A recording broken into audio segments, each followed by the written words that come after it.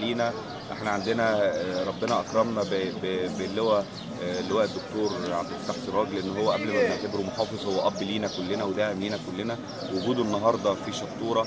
ده يعني إن هو بيك... إن هو بيوضح رساله صريحه إن هو في خدمة الناس كلهم 60000 مواطن يستحقوا الكثير والكثير وعشان كده الحمد لله إحنا وفقنا إن إحنا نشغل مركز شطورة المتميز للخدمات العلاجية إن هي تسهل للمواطن في شطورة إن هو يحس بالطمأنينة تجاه القطاع الصحي.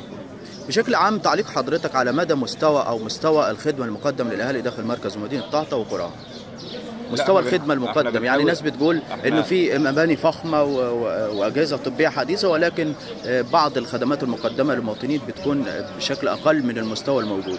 لا إحنا بنسعى للافضل وبنوعدهم ان لو في أي تقصير إحنا إن شاء الله قادرين على حله وده وارد إن يحصل تقصير إحنا بنعتذر عنه اولا وبنعودهم إن شاء الله بالأفضل في الفترة القادمة. شكرا لتعليق حضرتك.